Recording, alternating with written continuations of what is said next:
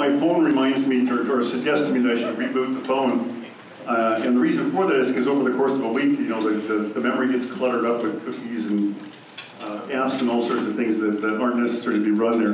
And then, when I, and then once it's cleared up, the whole thing runs more efficiently, the battery's more performant there and all that. I thought, I thought that that was a great metaphor for what 2018 is for the city of Snoqualmie. So it's somewhat of a reboot here.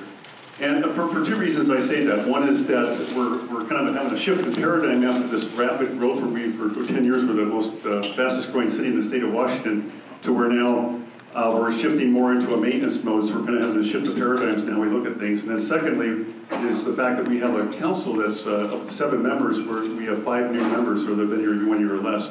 And by virtue of that, they, they don't have the benefit of leaning on, or some of the newer members leaning on the more senior members to take responsibility for the decisions that are being made. And, um, and they, they certainly don't want to appear to be, or nor do they want to be uh, rubber stamping decisions. And so on all issues, uh, I really have a great deal of respect that they, they dive into great detail on all the issues to really want to understand those. And, and I say, just kind of like when you reboot the phone, I guess what uh, has sometimes been been uh, unpleasant or, or a, a, good experience for me is I find, you know, the old guys like me have been around for a decade or more. Uh, there's issues or policies I think I, I, understand and remember quite clearly, and then a new council member reads that document I haven't read for five years and says, hey, I don't think the way you're applying the policy is quite where you thought it was. And it becomes clear to me that even though those of us that have been around for a while uh, have a little rust and cobwebs on things, so kind of like rebooting the phone, it's good to get a refresh and sort of reinvigorate things. So it's a good balance between having some that have the institutional memory and not. Um, the, this year, also for that, um, for the reason that this council has not been, uh, had the benefit of, uh, or, or May 5th, or May 4th, we're going to have a day where the, this council, this new group together is going to first have an opportunity to start looking at uh, all the uh, goals and objectives that they've inherited from the past council. And also uh, dive into in the next couple of months a uh, buy-in and budget process. And for that reason, I'm going to do a bit of a different pivot this year. I'm not going to get into strategic things and other budgeting things or, or forecasting to presume to sort of assume where the council is going to land on that. Instead, I'll go uh, department by department, kind of looking at this is a year where we got a lot going on, but I'm going to focus on the things that I think strategically still are, are things the council will embrace and uh, goals that they have in terms of just uh, protecting quality of life issues for the citizens, um, embracing sustainability economically and, and otherwise in the city, and, and also uh, getting the whole city and our infrastructure into a forward, forward stance of a proactive sort of uh, governance. So with that, uh, real quickly, just to, to note that um, I was relieved that Councilmember Jeans and Councilmember Holloway were re-elected and able to come back to the council. They've been on the council for about a decade, so their institutional experience is very much valued, uh, and, and, the citizens benefit from that. Our next two most senior members now are council members Ross and Sundwall, who came on in April, May of last year, and so they're, they're real some longtime veterans now. and they were joined by, in, September, no, uh, September, November, and January by, respectively, by Jim Mayhew, Matt Laase, and Peggy Shepard. Uh, like I said, a great hardworking team that uh, I'm very honored to work with. Uh, so now shifting to departments in terms of goals, one of the other phenomenons that often happens in rapid, rapid growing organizations is, you know, we've been just sort of running as fast as we can to keep up with the growth and constantly adjusting and reorganizing city governance to keep up with that growth. And much of that focus has been on sort of the outward focused departments, the police and the fire and the parks and the, the stuff that has a high touch with citizens and will generate the most mistakes. But like many organizations, uh, it's come, become clear to us in the last several months that there's uh, some, some maybe vulnerabilities and weaknesses because we haven't been attending to the back office, to the finance and administration aspect of the business in terms of what makes the, the wheels turn and keep things going every day. So a couple shifts in that regard for the finance department is one, uh, many of you know Nicholas Lee moved on to the King County uh, Library System as their finance director recently. I'm very pleased that Rob Wharton was able to step back in and help us came back from retirement uh, to help us through a difficult transition. But we're really excited to bring Robert Hammond on board. Robert, um, he'll be joining us on May 7th. He comes with a lot of background and kind of going into situations where they've had a lot of difficult, uh, what I would characterize as dumpster fires in different organizations, kind of a turnaround specialist. I think he's excited that any issues we have are more like a small wastebasket fire. Um, but uh, we're excited to have him come in and kind of look at those issues, put a lot of attention with the council there. Uh, we're very much on the same page with the council. Uh, so, and this this is going to be a director level position for the first time in the city's history. Again, a kind of reorganization where he'll have more more folks under his. Uh, he'll be responsible for and able to have more control over a lot of those operation internal controls. So we did have, uh, like an example, last year I was rolling out one of the strategic initiatives that we wanted to move to a, a priority-based budgeting uh, process. But again, because of the dynamics where we had to sort of pull back and say, look, we got to reset, get this council on board and really reset the foundation.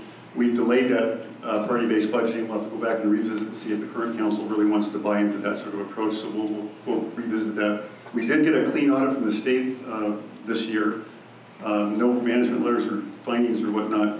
Uh, yet with that said, uh, it still doesn't mean that we don't want to give great attention. We went outside, went outside and hired a, um, an outside consultant, Clark and Nuber, that's done kind of a, a, forensic examination of all our systems and controls and operations. They're ready to come back with it. They're working now with the staff for an action report, and once that's together, we'll bring that out to the council and the public for, for review, and then start making those strategic changes to again raise the bar in that department as we have in the other departments.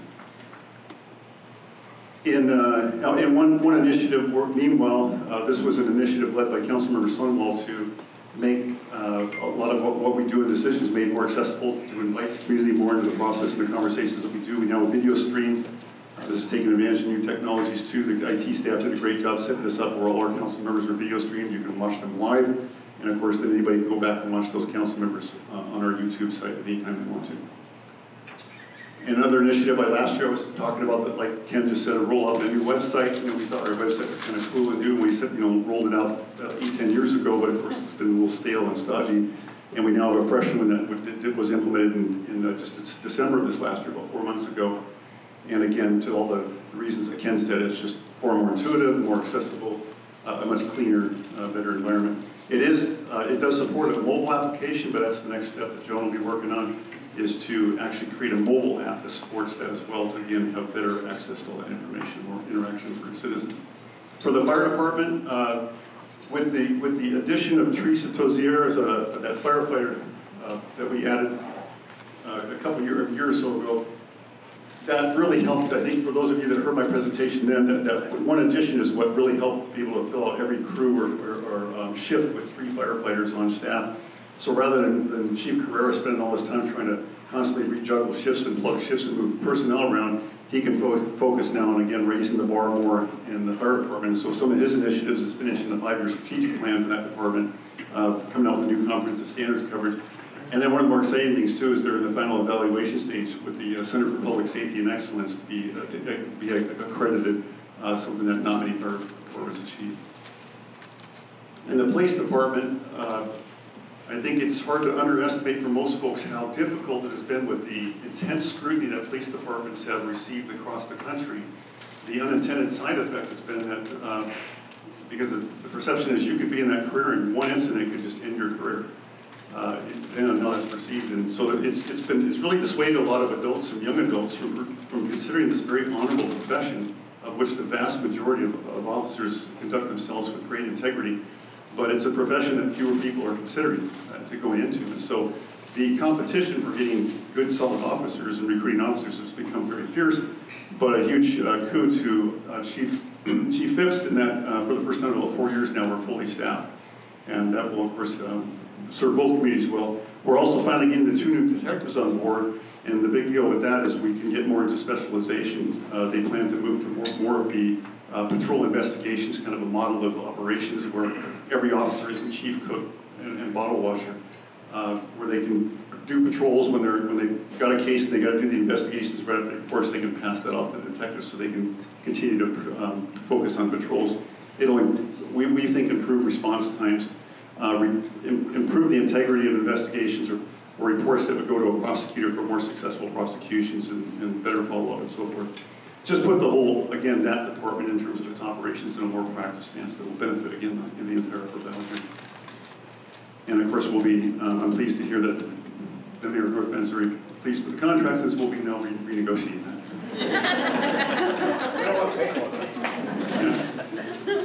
Uh, now shifting to the community development department, actually in most places that's called the community and economic development department because that department, which was former our planning department, we merged our building department into that too a couple years ago uh, really has two, two components or focuses in that, of which it's always kind of struggling in terms of a quality of life issue to have a balance. One is economic development and, the other is community development. Economic development is about trying to, as Ken was saying, how do you struggle as a community to figure out the appropriate balance in terms of where your revenues are coming from. Um, if, if we don't, for example, in Snoqualmie, half of our tax base, unlike North Bend, where seventy percent of theirs is getting from commercial and retail activity, we're getting half of ours from, from residential activity. So it's a heavy burden on property tax, and we need to diversify that more. And if we ignore that, then the quality of life becomes threatened if the cost of providing services and quality services continues to go up and makes uh, life more difficult for folks. So if we can balance that, again, by having it subsidized by more commercial development, that's what we want to look for there. But of course, then even in that, we want to make sure to, to find those character issues to to retain the character of the community. And uh, so I'm what I'm gonna do is I'm gonna start out with projects kind of focused on economic development, and then I'll pivot to ones that are more focused on community. Planning Commission has the benefit of focusing mostly on community development, that's protecting the aesthetic and the quality of the the community. The council, of course, has to wrestle with all the budget issues on top of that. So last year I showed you this slide um, of the business park, and you can see just, other than a couple lots here, there was just the, the retail lots at the front that were remaining. And we all knew the Safeway and Bartell's and the hotel. This is one part of a big, again, for that economic diversity coming in. And pleased to see that now that you can see the QC and Bartell's is in, and the construction of the hotel is now well underway. Here was the photo I showed you at last year's presentation of the Safeway in spring of 2017. Here's the grand opening in August of 2017, not the grand opening, but the opening. And then Bartell's at last year, and of course, that was the opening in July of 2017. And the Starbucks and Mod Pizza, which have been, uh, Mod Pizza's particularly been popular. Uh, Here's just a refresh on the hotel. I don't want to spend too much time on this. Just a refresh real quick. It's a 99-room hotel, projected to bring in about 3000 uh, $300,000 annually to the city. It's uh, also, the hotel is located here on the site with another uh, adjacent building, about 8,300 square feet downstairs, a retail and restaurant, 8,300 square feet upstairs of office space. And- And uh, here was the renderings I showed last year, and now, of course, you can see here's the, the secondary building ready to come out of the ground with the retail office space restaurant and the hotel just beyond. Here's the renderings from last year, of course, the hotel now, you now, it's at its full, full height. And now the one I think a lot of people have been anticipating for some time, that's quite exciting, this was uh, dropped into the city offices on April 2nd. This is the application on the Salish Lodge. This is a project that was actually uh, entitled, legally entitled to move forward over 14 years ago. Actually, I was still on the council at that time. And now finally, the Muckleshoot Tribe is coming forward with this project. Uh, This is, this is kind of the layout of the proposed um, site. The shaded area up above is where about 150 units of residential housing is uh, proposed to go. That's going to be a later phase. They're not submitting that at this time. They're, they're only basically fo- focusing on the hotel. Uh, in- They, they consider this a very special site themselves too. The city requires that about 28% of the site be reserved in open space. They've actually pushed that up to 58%. They want this to be a very wooded uh, kind of nature experience for their guests when they come to this. Uh, I liken it to kind of Suncadia when you drive through there. You're sort of driving through narrow forested roads with uh, kind of a small scale street lighting and so forth. They're looking to face the hotel so as to establish its market presence in stages. The first phase would be over here, the, um, the, uh, about a 93-room hotel in the center right here with a, about a 26,000, 27,000 square foot event space and restaurants or eating facilities. Uh, To, to put that kind of square footage in perspective, it's about the size of the IGA building, including the liner shops or the uh, exhibition hall and storage facility over at the Northwest Railway Museum, so a fairly large facility. Uh, The second phase will, will be this central facility with this circle arc you see it, uh, the pool looking south toward the falls with uh, a spa in there as well. And then the third phase, another uh, about 89, 90 rooms of hotel here with another 30 of um, managed residential units. There's a look kind of hovering high up above the Tokul roundabout. I do want to note before I forget that this is going to be a quasi judicial process, so please don't pester the council members because they're sort of like judges on a jury, they can't uh, speak about the Same with planning commission members because this will be going to them soon too for review. Uh, The Muckleshoots, again, this is a very special site for them. They, they share a common heritage with the Snoqualmie tribe. And so they very much want to celebrate not only the architecture of the building itself, but in some murals that the, the Northwest Indian culture and heritage. This is a drive up to the main uh, lobby to the far right of the first phase. You see the, the round section here beyond is the spa and pool area, the second phase. And this is part of the first phase. Here's the spa and pool area just beyond, looking back northward. Here's a view from the swimming pool, looking uh, southward toward the Snoqualmie Falls. And again, here's where you get a sense of where they want to create that sense that you're in a forest uh, with the fir trees and actually carry that right into the pool. If the architect can get away with it, this is what he wants to do, actually have those sort of trees going right through the swimming pool. This is the uh, events center off to the far left of the project in the first phase. Again, kind of picking up on the Northwest Indian cultural motif.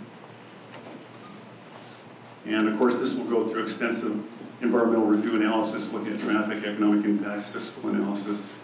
Uh, we're seeing very, very positive uh, fiscal financial benefits for the city and the community from this project, uh, despite House Bill 1287 that uh, allows uh, tribes to apply for property tax exemptions off of reservations. We appealed that in the courts. We won in Superior Court, but lost in the Supreme Court.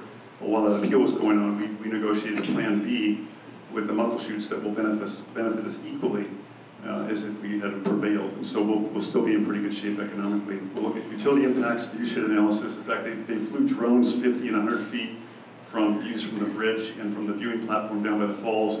In, in only one instance could, have, could one of the drones be seen at 50 feet, but the, that was uh, in a location that was well below where the hotel. Would not be able to see the hotel from any of that area down below. Uh, also, there'll be cultural, the cultural assessments have already been done, 181 shoveled, uh, shoveling the ground looking for any um, uh, evidence of, of past, you know, Indian cultural history, and there'll be archaeological oversight. Of course, again, this is this is a project advanced by the Muckleshoot, so they have a, a greatly invested in, in making sure it's uh, done in a very tasteful way. On the mill site, uh, I hope any of you were around 11 months ago when uh, Tom Stroke gave his presentation. I don't have, the, we really have no updates or new details since that time. I think you can get some information on the Snoqualmie Mill Venture site on the initial presentation or concepts. Um, we do anticipate in the next three or four months that will be submitted, similar to the Salish one, for, for staff review, and then eventually go forward to the Planning Commission and the Council, but at this time there's no updates. And another exciting one that, due to time, I had to pull out last year, but uh, should be moving forward soon as uh, Mike and, and Ryan Seal that uh, owns Sigillo's are busted at the seams, and it's really to them. They love being in Snoqualmie, but it's an issue for them where either they have to move out of the city and find a bigger facility or build one here. They're very excited about investing in downtown Snoqualmie. This is a building uh, that they, they uh, want to place at the corner, what we call the King Street lot at the corner of Railroad and King, right next to the bowling alley, uh, right behind, in front of Riverview, um, I'm sorry, the Sandy Cove Park. Uh, they wanted it to feel like a, a, structure that's been there for 100 years or something like more like an old cannery. That's a front view. This is a view from the bowling alley looking back southward toward the facility. We're even, we're even exploring with them some sort of partnership, building a facility that would, uh, where you could do events that would be on the bank overlooking the Sandy Cove Park and the river just beyond the parking lot. Here's a view from the park looking back up the hill toward the, the rear of the building. And this is the first floor plan that shows a large production area with bar barrel storage areas, wine tasting rooms, dining, uh, for, for wine, wine production and so forth. And then upstairs is a, a, essentially a boutique hotel of about a dozen rooms that could handle um, mostly a kind of a niche market for a lot of bridal parties that would come in and have weddings and so forth. And I've seen a concept like this down by Lake Tahoe, and it was really an extraordinary uh, experience operation. And now shifting or pivoting to more of the community development piece of uh, our community development departments. Uh, we, uh, this, this could take an hour alone on this complex project. This is a 20-year plan for comprehensive river, uh, trails kind of connecting all these components in the revitalization of downtown and the development of the mill site with the Salish.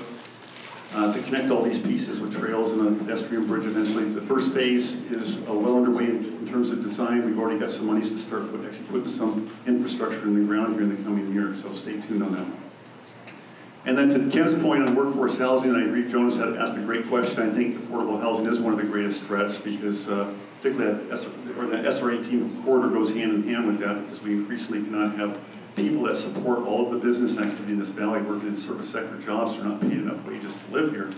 And, uh, and school districts and, and, a lot of other organizations or even cities are having harder and harder times retaining employees for that reason. So we're excited that one of the last components of required affordable housing for Snoqualmie Ridge Phase 2 is coming forward. All the last legal hurdles were, um, are now done and this project is ready to proceed on 191 units of housing. At, uh, that's, I'm sorry, I should have noted again, that's located down here.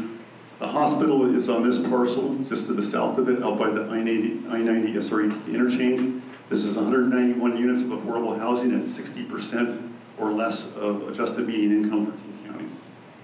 And you saw this last year, so I'm going to blast through it pretty quickly. Or as many of you saw last year anyway. So just site, sightline of it, uh, analysis, and here's what some of the units look like. This is, this is rental apartment product. And then a very exciting product for the school board, the school district, after about a, over a decade of, of failed attempts to try and get a bond passed. We finally got a bond passed, and Mount High School is under a massive uh, reconstruction, which is consuming a lot of time, of course, from our city staff as well. But uh, we're excited to support that project. As far as I know, Carolyn is on time and ready to open in 2019, but uh, it's uh, quite exciting watching that coming out of the ground. Uh, to the gentleman that next asked the question about the property over in downtown North Bend, this has been kind of our chronic eyesore that we've been for years trying to figure out how do we get this old honey farm off of 384 developed. I can assure you the neighbors behind it were not happy at all. Um, and we've had we've had proposals that have come in, look like redevelopment, and it falls apart. But I can uh, I'm happy to report that we now have a a project moving forward that I think people will be quite excited about. And went out and photographed it yesterday. This is what the honey farm now looks like. You can applaud. And you know, I think you'll also be excited to know you're going to hear about a big, exciting fundraising campaign come out of which they're well on their way and successful. If you were at the breakfast yesterday, Encompass is the one that purchased the property. And we're excited to take this very valuable community partner that we've always supported to now have them with another campus in our city of Snoqualmie. They're looking, this will provide them an opportunity to increase by at least 30% the number of families and children that they can serve with this new campus here. Uh, so stay tuned. Yeah.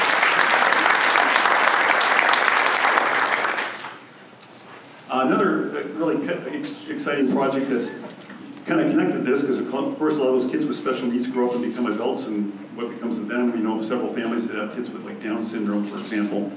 And a lot of those, and, and they understand that many of those kids are living with their parents most of their lives, but the problem is at some point that parent gets very old and maybe needs to go to the senior center and they're not capable of caring for that child anymore. For. So it's a bit of a panic for them. So this is an organization called LEO, or Life Enrichment Options, where they provide housing with a, a, a, a live-in caretaker to attend to those uh, adults with disabilities. And they purchased a house just a few blocks from where Encompass will have their campus. They've torn that house down and are in the process of building this new home that'll have uh, enough for, for six families or six uh, individuals along with, in addition to the caretaker. So we're excited to support that as a community partner as well.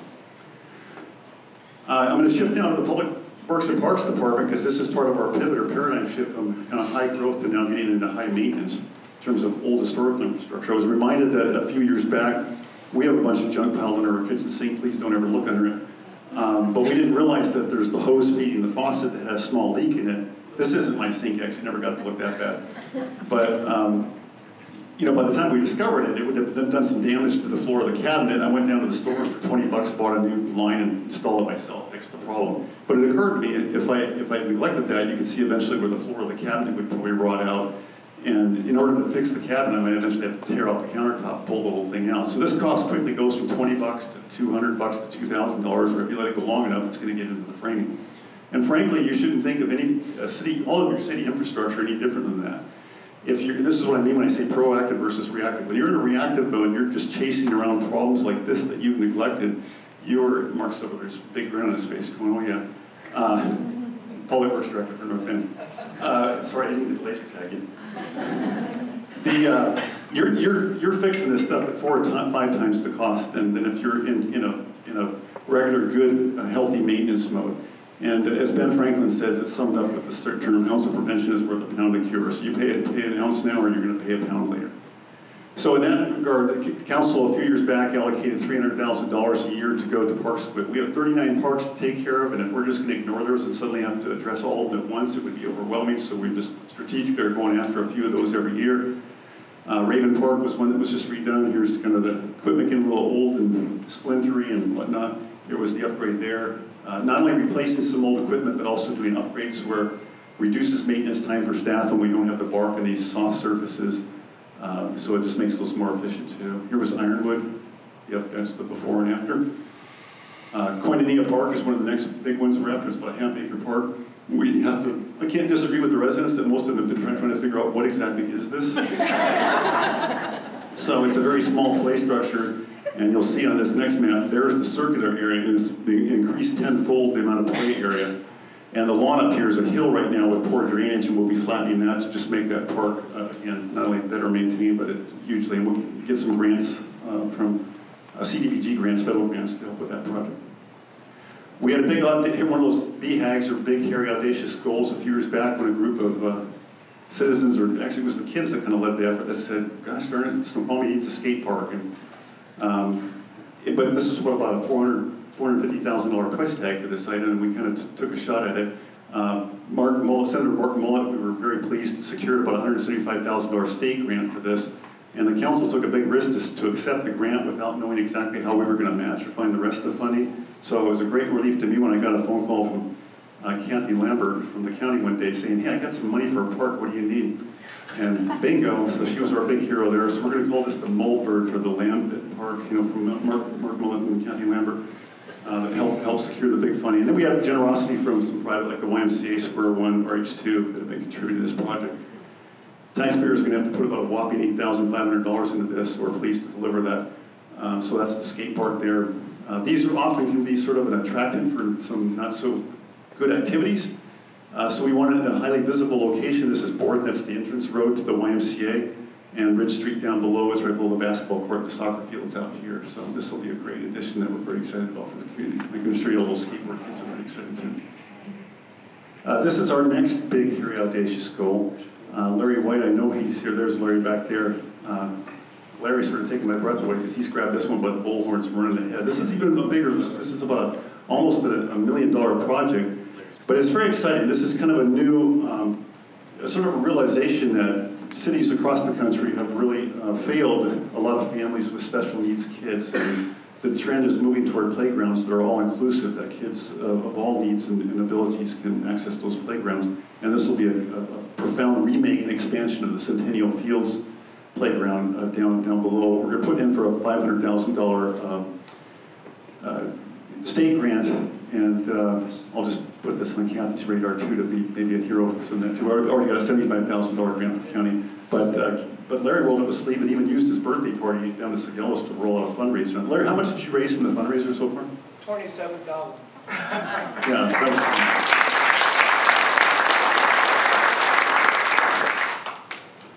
Uh, it was really cool this last week. The Ridge Residential Owners Association just put out a, their newsletter calling it the 20th Ridge Retrospective on the 20th year, kind of a look back at the Ridge. And this was a great picture that just caught my eye, uh, showing up there our, our really fo- forward-looking, state-of-the-art sewer treatment plant being built down there, just across the, the river on the bridge uh, by the sailors. And uh, I, I've loved bragging about this uh, this infrastructure for years. Where uh, by state of the art, I mean it, it's got oxidation ditches where a bunch of bugs chew up all the material. It goes into the clarifiers where all the solids are separated. The water goes into sand filters and then into UV, and it's so clean when it comes out. It's pumped up to the lake right out here, and then we use that to irrigate all of the. Uh, uh, the, the parks and the golf course and so forth. Few communities can kind of brag that they have that fourth utility of a purple pipe system for all that reclaimed water.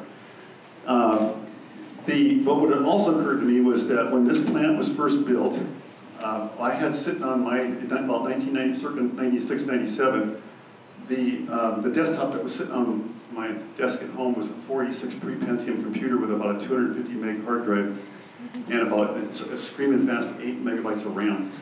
Uh, to put in that perspective, this presentation here uh, was, would take up about 60% of the hard drive on that computer.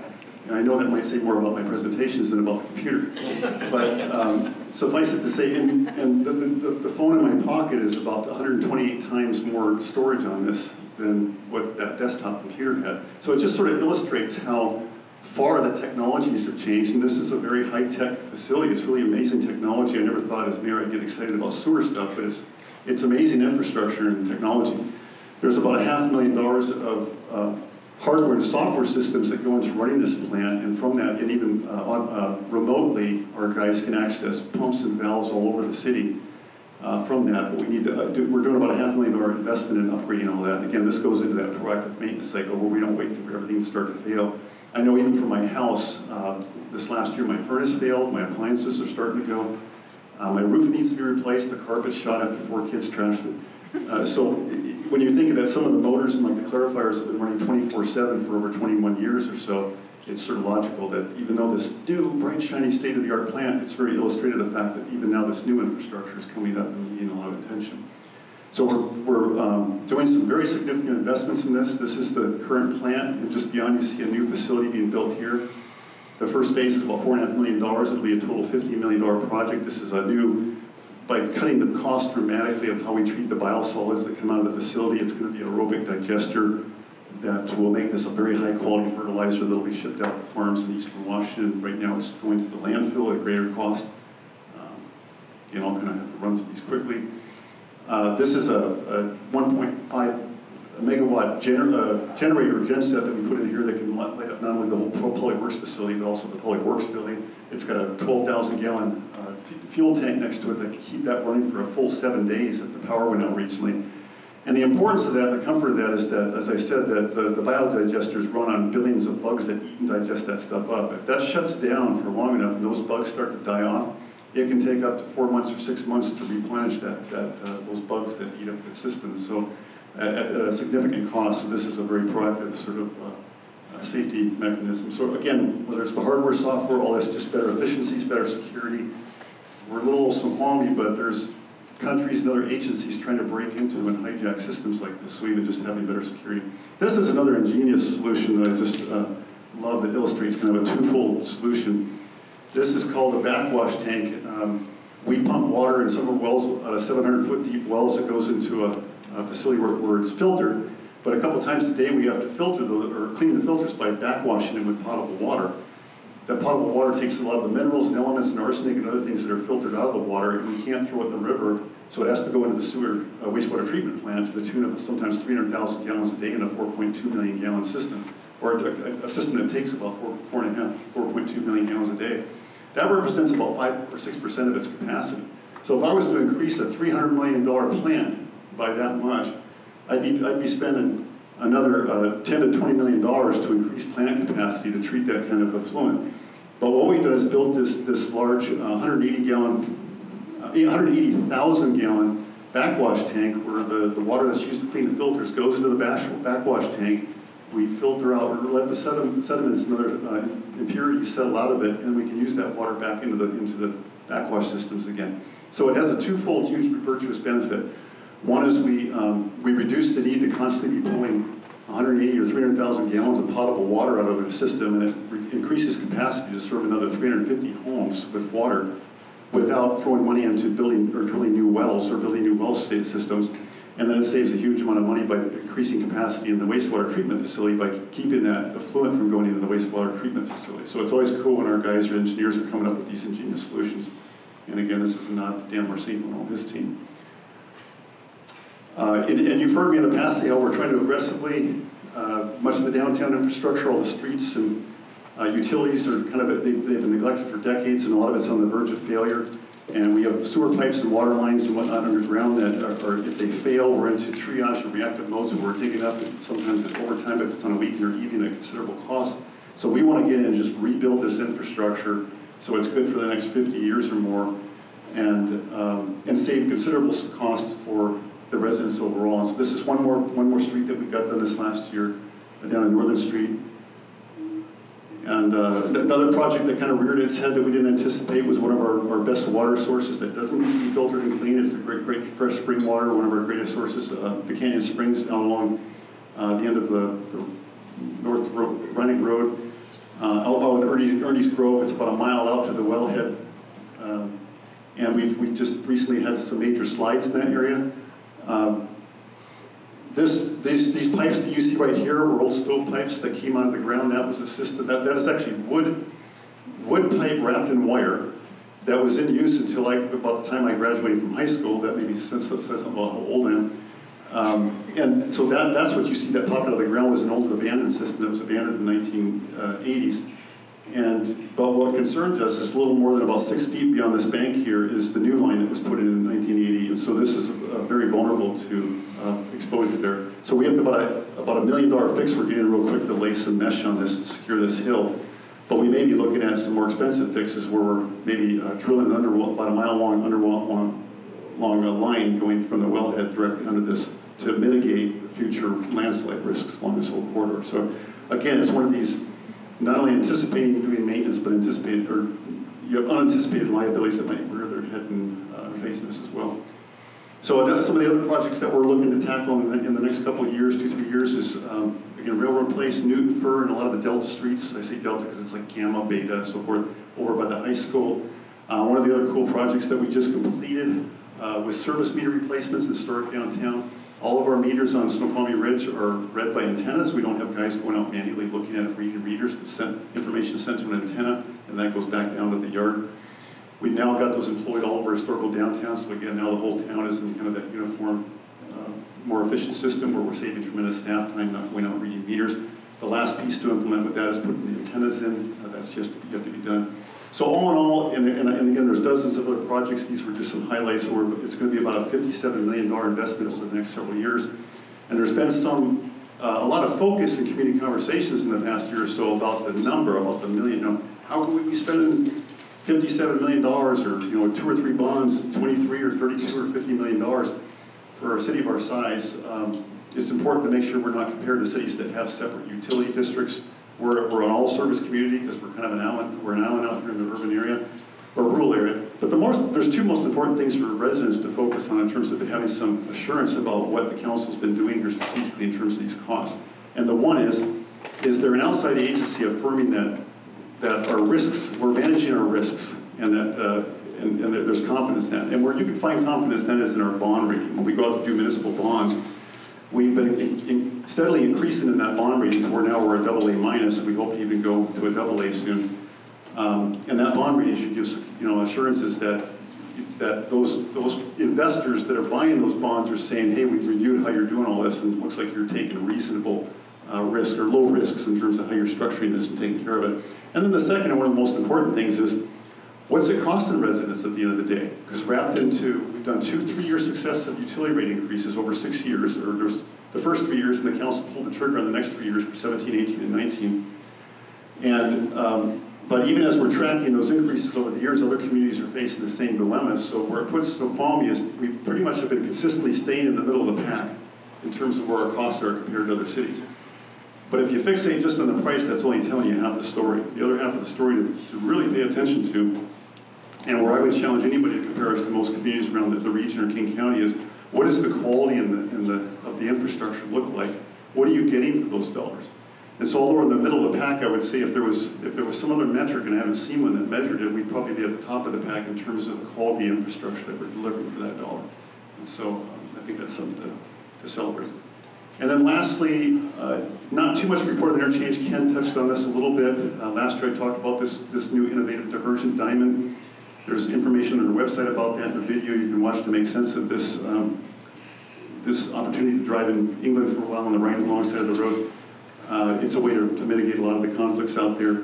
The original schedule for that was to begin the design in September, with construction in July 19, and in 2022.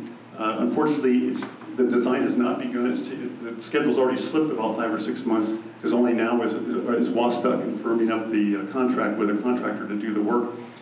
And our, our um, top priority is to, when they get that contractor on board, is to work with them and see if we can't fit, uh, convince WSDOT that at little to no cost we can provide access, um, that, uh, designated access for Snoqualmie residents or Valley residents onto the freeway in the morning throughout the construction period, and that would mitigate any kind of, then people wouldn't be so worried about how long this project slips if they could free up that bottleneck and, and get access on it. So with that, um, I, will tell you, I, I, not only has Snoqualmie remains vibrant and strong, but again, because a lot of these strategic big initiatives and projects are falling into place that we've been working on for over a decade, I can honestly say that probably since the heyday of the mill site, I, I can think of no time in the history of Snoqualmie where we've been in a stronger, uh, fiscally, or stronger position in terms of just uh, being able to, to take care of things in a high quality and, uh, and move forward.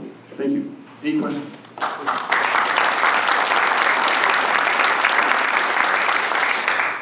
Monica says I have a couple minutes for questions if there's any questions. Monica? That's why I said you could take time for questions. I really appreciate the um, efforts that you put into being environmentally friendly and all that you're doing proactively. This, this might be a this might be a better question for Andy Glandon. Um, but I was just curious when you have, uh, I can't remember the name of that, but when you were showing that plot where that rectangle is that it's taking all of the arsenic and the different things to, that's, yeah, the backwash tank. What happens to all of the toxins and things and the arsenic and stuff that does settle into the, where does it settle? What happens to that land then, and does it get into our water eventually? Where's Dan? Dan, is that, I think we have a facility called the Decanter, there's another one I didn't have time to get into. Does that go to the, what's the name of that facility where we take a lot of the, like when we clean the roads, we can't just like dump that in the woods? When the sweepers come around, and sweep up all the sand or residue off the roads, it's full of oils and other contaminants. The decanter, right? So I, I assume that material would go, go into the decanter? Yes. Okay, so that's another project I didn't have time to focus on, but there's an investment in something called the Decanter that would be next to that biosolids facility. Uh, where we, and we don't have that kind of facility like that right now. So, so for the first time, we'll have a facility where we could put that kind of material and, tr- and treat it properly before it uh, goes out. Great question though. I didn't expect a question about some of that sewer waste. stuff and stuff. That's- I think that's cool. Isn't sewer exciting? Yeah. Any other questions? Yes, Deanna? Did you say when the Salish expansion phase one might start? I mean, I know they have to go through all the permitting and stuff, but Yeah, I, I wouldn't hazard to predict, I mean, I- it really depends on how long the planning commission and council struggles with it, but, I'm sorry, what's that, Bob? Bob? Do a two-year build-out, basically, Yeah, no, she's asking when, it- when it anticipate to start, actually start the construction. within a year. Yeah, probably at least a year, and again, it depends on just how much, because the planning commission and the council are gonna be spending a lot of time listening to community input and concerns, that they're gonna wanna be satisfied about traffic impacts and mitigate, you know, impacts to the community, and just be assured that this is being planned in a very uh, tasteful way, and the impacts are being properly mitigated for, so. In this community, that typically takes at least a year, could be longer. Again, thank you all very much.